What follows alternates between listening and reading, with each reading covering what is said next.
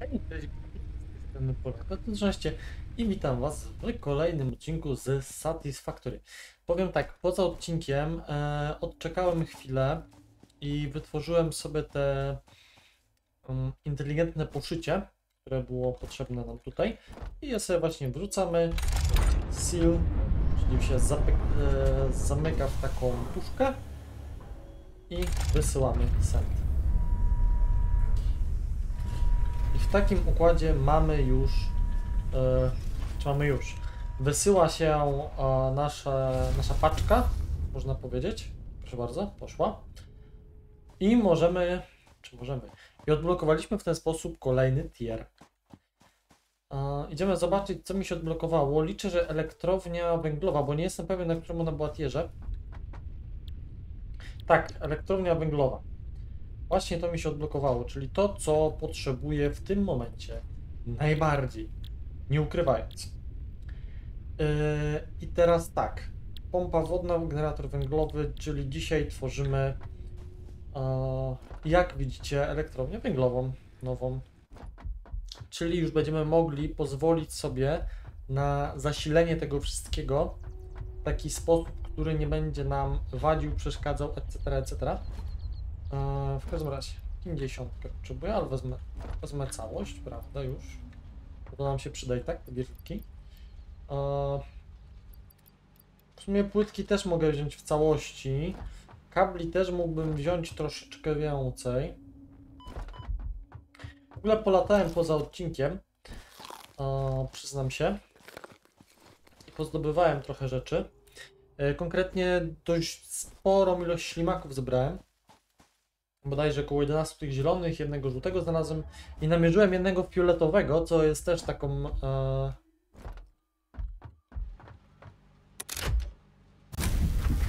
Spokojcie. Zastanawiam się, dlaczego się nie uruchomiło, skoro dorzuciłem paliwa dopiero co.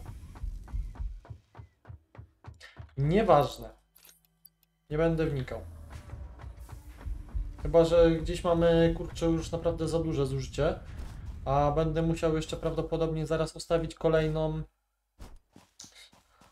e, elektrownię, jak tylko pompę wody uruchomię. Gdyż moja pompa będzie zżerała naprawdę dość dużo, gdyż w planach mam, żeby uruchomić ją na maksymalnych możliwych obrotach. Tak więc, no może być jazda niezła ale to zobaczymy jeszcze jak to wyjdzie, nie? No na razie to mamy zużycie takie... Możemy produkować 220, znaczy produkujemy 220. Maksy, przy maksymalnej y, produkcji jakby wszystko naraz się uruchomiło, 221 MW. Sporo. Nie ukrywam, sporo to jest. No ale cóż. Kiedyś to trzeba porobić. Dobra, ciach, ciach, ciach. O, raz i dwa i trzy i wysyłamy. Teraz tak. Mm.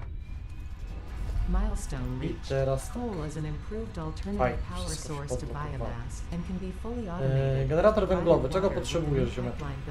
Przyjacielu ty. 10 tych, 20 tych. Ej, to powiem szczerze, że jestem już w stanie go wykonać. Okej, dobra, fajnie.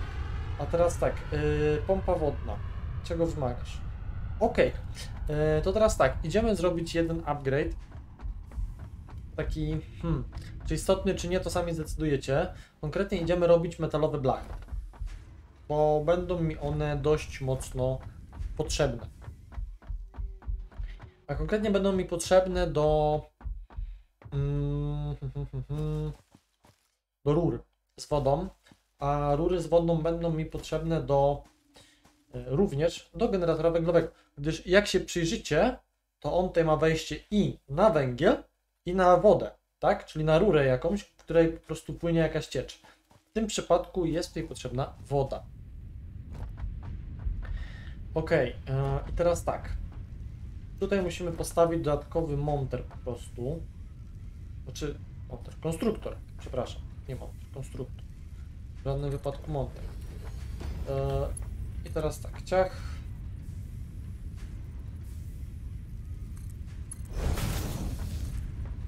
I... Aj, tutaj nie może być. Musimy minimalnie oddalić.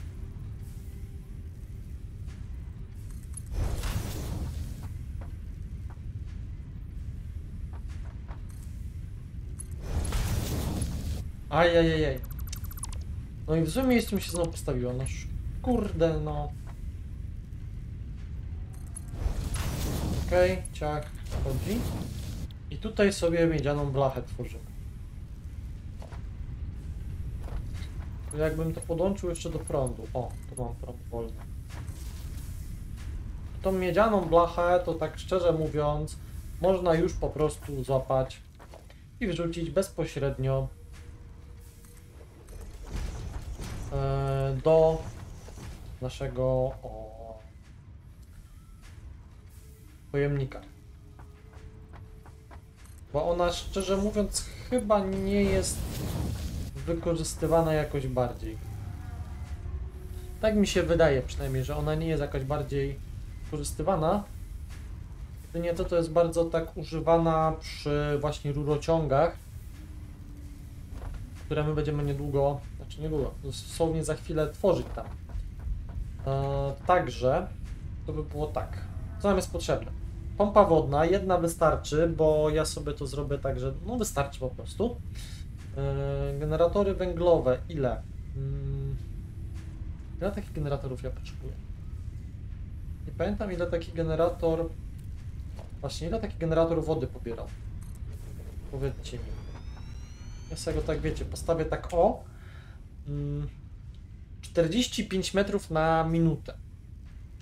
45 metrów na minutę to nam da 6 generatorów? Tak, 6 generatorów na jednej linii wodnej. Czyli powiedzmy, że na początek, na samiutki początek stworzylibyśmy takich 6. 6 czy 12. Jakie ty masz zużycie węgla? Na minutę. Nie sprawdzę. A, nie sprawdzę. To załóżmy, że 12. Dobra, inaczej. Postawię 6, w razie co dołożę je, y, drugie 6. Tyle. Ok. Ja poczekam jeszcze, aż mi się miedziane blachy wyprodukują. W takiej, no powiedzmy, większej ilości, około 400 przynajmniej. I zaraz do Was powrócę. Postanowiłem, że Wam pokażę chwileczkę dosłownie, jak a, rozplanowuję i buduję już powolutku sobie ścianę. Tak rozciągając. E, tak, tutaj wyszło troszeczkę za blisko ta ściana, dlatego będzie troszeczkę jeszcze oddalona. Bo stwierdzam, że tutaj ma jednak troszeczkę miejsca być, ze względu na to, że nie lubię jak są takie bardzo ciasne, zamknięte pomieszczenia. Wolę jak tego miejsca jest troszeczkę więcej, a tutaj no to mi się wydaje po prostu, że a, będzie troszeczkę za ciasno na, że tak powiem, okablowanie, w cudzysłowie okablowanie, a, które tutaj wstawię. W ogóle mm, to poodblokowywałem sobie tak, y, w ogóle od zera. Odblokowałem sobie niszczarkę. O, chodzi o korki, czyli najprościej mówiąc, yy, skończyły się materiały. Nieważne, nieistotne. Ogarniemy to później. E, w każdym razie, tutaj będzie taka jedna wielka elektrownia zbudowana i ona chce, żeby była już. Mm, jakby to nazwać? Żeby ona miała troszeczkę ręce i nogi. Tak więc, no tutaj po prostu będzie wstawione takie, takie, takie, takie coś, prawda? Będą takie osobne pomieszczenia, pokoje na każdy, nie wiem jak to nazwać, sekcję. 15 na minutę. 15 na minutę, czyli 90 na minutę wydobycie. No spokojnie jestem w stanie to zrobić. Dobra, spoko. Na jednym takim by szło każde, czyli z cztery sekcje mogę tu zrobić, bo tam mam dwa. Tu mam dwa, z czego jedno tylko trzeba by po prostu najpierw rozwalić. Także powiem szczerze, że nie ma jakiejś większej filozofii tutaj. Także jest spoko. Tu jest y, jedno źródło, tu jest drugie. I tam w tamtych miejscach zaraz one pokażę. Tyk. Jest jedno i drugie. Tak, tam są dwa. Także no, tak to sobie wygląda w momencie. Także y, powiem tak, przede mną długa praca i widzimy się, jak już będziemy mieli efekt końcowy przynajmniej pierwszego pomieszczenia. Bo tak jak mówię, chcę, żeby to było w miarę ładnie zabudowane. tak, taki powiedzmy projekt mój, który e, ma już wyglądać e, w miarę dobrze, a później e, mam w planach nawet, e, bym powiedział, przebudowę doszczętną, bo inaczej tego się nie da nazwać, mojego obecnego, prawda, a, mojego obecnego, mojej obecnej fabryki, tej pierwszej, tak? E, I w ogóle to będę chciał troszeczkę zmienić koncepcję, że nie będę upychał wszystkiego w jednej fabryce, tylko będę chciał zrobić tych fabryk po prostu, najprościej mówiąc, kilka. Kilka fabryk plus jedna główna taka moja baza wypadowa to będzie wejście do mojej fabryki. Znaczy no, elektrowni akurat w tym przypadku. Ale to taki szyb. Tak, będzie wejście surowców.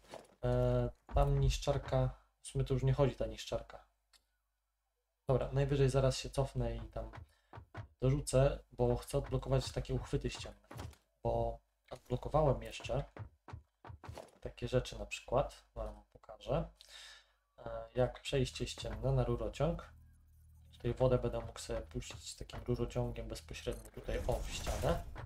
Prawda? Taki rurociąg będzie sobie przechodził przez dwie strony. To jest takie fajna opcja. E, odblokowałem sobie również tak, takie gniazdo ścienne. Mogę sobie na ścianie postawić. Prawda? I przed każdym tym będzie taka powiedzmy o, na tej zasadzie. Mogę sobie to podłączyć w ten sposób. To jest też bardzo fajna opcja.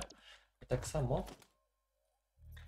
mogę e, zrobić coś takiego jak podwójne gniazdo ścienne klasy pierwszej i przez takie gniazdo będzie e, szło przez pomieszczenia, prawda? Czyli o, w ten sposób tutaj, e, tutaj już będzie wyjście z tej mojej fabryki tego prądu, także w ten sposób się to będzie prostować.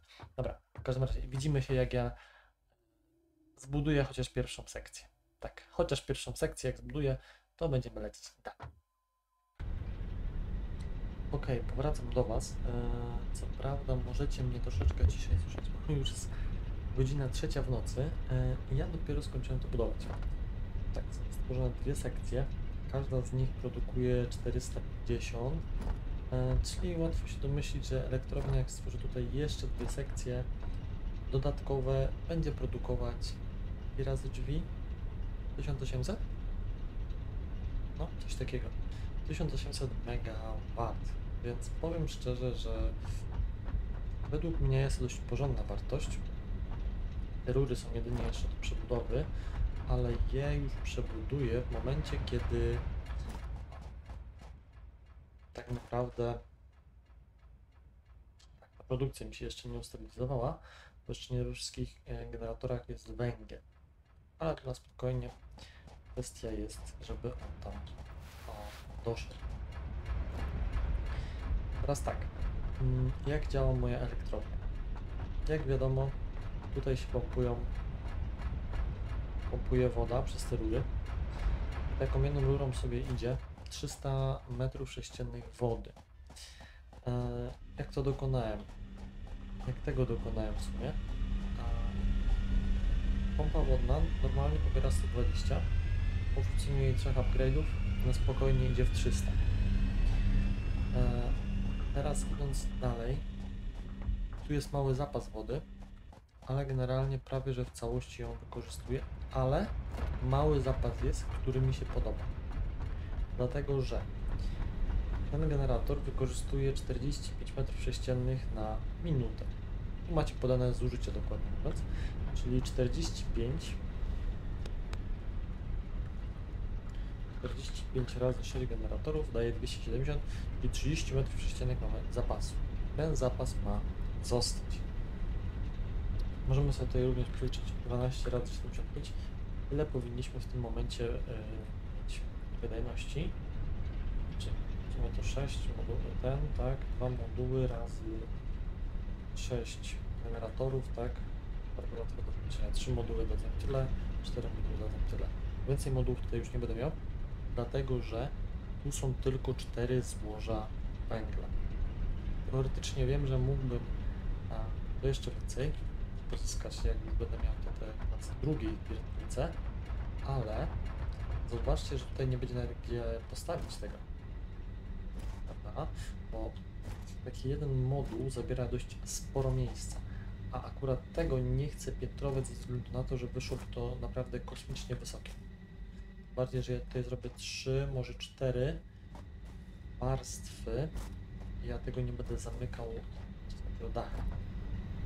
Dlatego, że dach był naprawdę wysoko tutaj dochodził, a chcę chociaż troszeczkę zostawić e, w cudzysłowie realizmu, tego, żeby mm, kominy były rzeczywiście wyciągnięte. Mam nadzieję, że się nie obrazicie, ale dzisiaj będzie taki krótszy odcinek. Tutaj idzie e, taśmociąg klasy drugiej. Oczywiście nie po całości, prawda? Tutaj idzie klasa druga, ale tu już idzie klasa pierwsza. Dlatego, że tam już idzie dalej tylko łącznie 60. Tu jest stówka, tu jest jeden. Nie. Tak, też nie ma w ogóle. Też nie ma w ogóle. Powiem szczerze, że chyba coś mi nie pykło, jak to podałem. Bo tutaj chyba trzeba byłoby dać klasy w całości. Tak mi się wydaje. Nie no, wiecie co? Ja bym to... Wiecie co? Skoczę po płytki szybko. I zaraz do was wrócę. Jeszcze idąc po płytki natchnęła mnie myśl, żeby wam powiedzieć, co ja tutaj będę chciał zrobić w tym miejscu. Tak, tutaj widzicie już niszczarkę, dzięki której uzyskałem tam parę fajnych rzeczy do ogarnięcia tego wszystkiego. Co do tej naszej fabryki pierwotnej, to ona jest do generalnego remontu, jak mam być szczery, i zmiany tego układu, co jest tutaj w środku.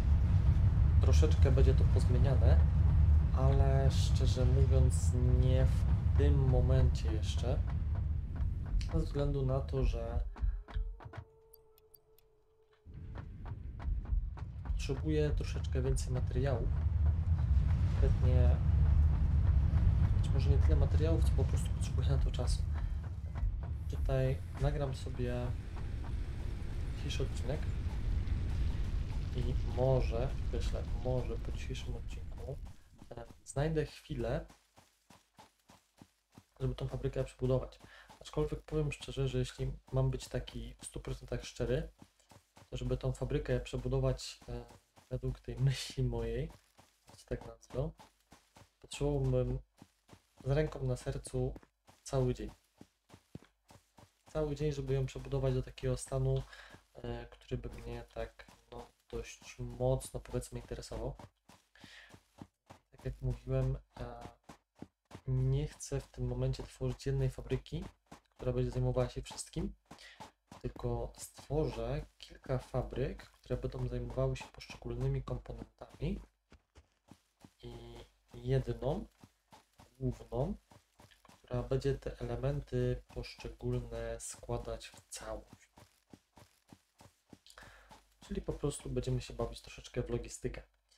E, Mam już nawet pewien pomysł na rozwiązania logistyczne, jeśli chodzi o składowanie rzeczy w magazynie. Tutaj można to zrobić na jednej linii, ale to jest tylko rozwiązanie, które będę wykorzystywał w momencie, kiedy będę ściągał coś do siebie. Tutaj na przykład, nie wiem, przykładowo, kutę stalist robię w zupełnie innym miejscu niż to teraz mam. I w związku z tym, że huta będzie w zupełnie innym miejscu,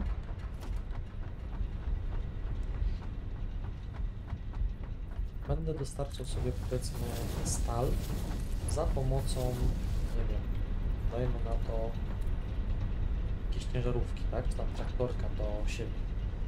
Dobra? Więc będę musiał to wymyślić w jaki sposób e, dostarczać paliwo. Ale powiem szczerze, że to chyba nie będzie problem. Jeżeli paliwo dostarczał do domu i w domu z stacji ciężarówek będzie po prostu paliwo wydzielane.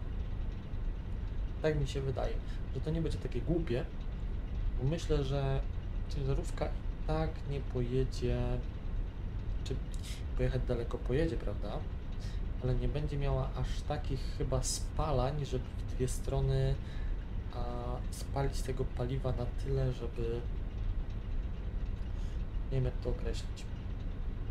Spalić tego paliwa na tyle, żeby uciekło mi słowo, szczerze mówiąc.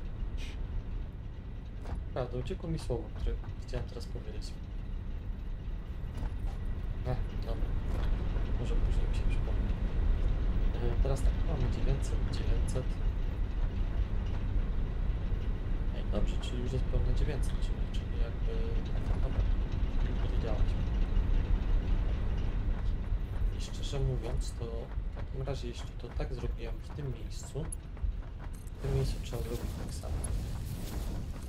Żeby to miało rączki. I przyspieszyć o jeszcze jeden poziom ten e, górnik. I liczę szczerze mówiąc, że w miarę niedługo dostanę możliwość budowy górników tiru drugiego, gdyż ten, jak go przyspieszę do takiej prędkości, to zbiera 15 MW. Ulepszony mm, działa jak ten ulepszony w tym momencie o 200%, ale będzie pobierał tych MW 7, coś takiego. I, odzyskam moje fragmenty energetyczne. To jest chyba najważniejsze, prawda? Także taka sytuacja. Teraz już powinniśmy zacząć nabierać zapasu. Tak szczerze mówiąc. Tak, tu jest stówki. Stówka. Właśnie tu nie było pełnej stówki, się pompowało cały czas. I tu też nie było pełnej, ale tutaj zaraz będą pełne wszędzie. Także już nie będzie z tym problemu. Tak samo tutaj też powinno zaraz się napełnić. Mam taką nadzieję przynajmniej. Pełność. Bo wolałbym szczerze mówiąc, żeby było przepełnione, jeżeli jakby miało brakować. No, słów, bo jeżeli padnie mi zasilanie, to będę w czerwcu. Dosłownie mówiąc. A propos, e, jeżeli padłoby mi zasilanie i padłyby pompy,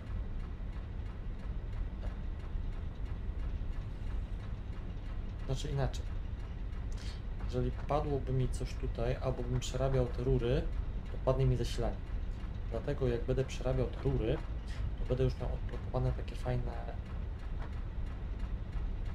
magazyny energii, które postawię sobie po prostu jeden tutaj i wiadomo, odpalę po prostu na nim tylko pompę, albo te obie pompy, one sobie napompują wodę do rur i dopiero jak zaleję e, naszą wodą, podepnę już całą sieć energetyczną, żeby ona mogła sobie działać. Tak to sobie wymyśliłem, tak to zrobię i tak jak mówiłem, dzisiaj będzie taki krótszy materiał, z uwagi na to, że ostatnio jesteście 40-minutowy, a ten projekt, o którym Wam teraz opowiadam, jest naprawdę mega, mega wielki. No nie ukrywając, jestem dość zmęczony ze względu na to, że kurde, jego mać nagrywam, to cholera czasu. Się tego nie spodziewał, prawda? Zmęczony? Nie, no gdzie? O, zmęczony? Co, co ty gadasz? Zapewne połącz. Tak, jeszcze dwa moduły mogę spokojnie stworzyć. Myślę, że je stworzę. Tylko teraz tak. mm, A propos jeszcze tych modułów. To tam mam jeszcze jeden węgiel odkryty, ale tu muszę go wybuchnąć najpierw. Co za tym idzie, muszę mm, odblokować takie fajne obeliski do buchania tego.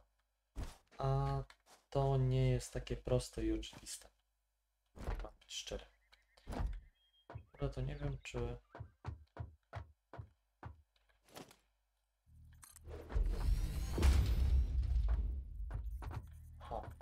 Teraz nie wiem, czy ten fundament nie mogę go postawić przez to gówno, czy. Ze względu na to, że tu jest ta ruda. A, to jest jeszcze tutaj. Aha, i mi brakło. I mi brakło.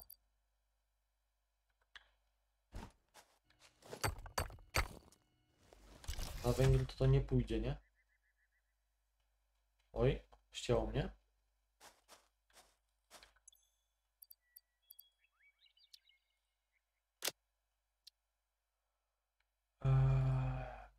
Nie, nie pójdzie na, na węgiel. No trudno. Trudno. Nie ma problemu. Jak nie chcesz iść, to nie. Ja zmuszać nie będę. Co najwyżej później sobie po prostu przyjdę i to wytnę.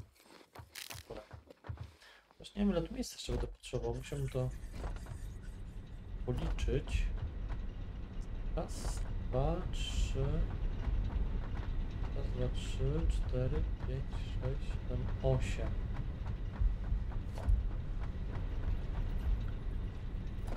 Raz, dwa, trzy, cztery, pięć, sześć, siedem i osiem. To by się już kończyło. Dobrze. Szczerze, że to nie będzie jakieś takie super wielkie. Myślałem, że to będzie więcej miejsca że to będzie jakiś taki większy kolor zupełnie, ale chodzi na to, że to nie będzie taki straszny. No, spoko. Mi to się podoba. I ta druga będzie miała puszczoną linię przy samej ścianie. W takim razie. Przynajmniej z tej strony. No, spoko. No to to można e, usunąć już. Rampa była tylko to, żeby wyjść na chwilę. Ale tu ma być ściana bazowa. Tu są takie korytarze. Nie? Do naszych tych taśmociągów. Nie, powiem, to tak fajnie to wyszło. Ocencie w komentarzach jak to yy, wyszło. Czy według Was jest to w miarę estetyczne? Bo teraz wszystko będę tak chciał budować w miarę estetycznie, a nie tak jak tam, wiecie, było w tej mojej e, głównej fabryce wybudowane wszystko tak chaotycznie. Więc no, mam nadzieję, że Wam się spodobało i do zobaczenia w kolejnym odcinku. Na razie, cześć. I łapkę w górę dajcie, bo ja tu siedzę 4 czy 5 godzin nad tym. Nagrywać zaczynałem o 23. Myślałem, że to zajmie troszkę szybciej, a jest godzina trzecia, w tym momencie 11. Tak. Dobrze, słyszycie. A ja wstaję o 8.30 rano, także pa pa.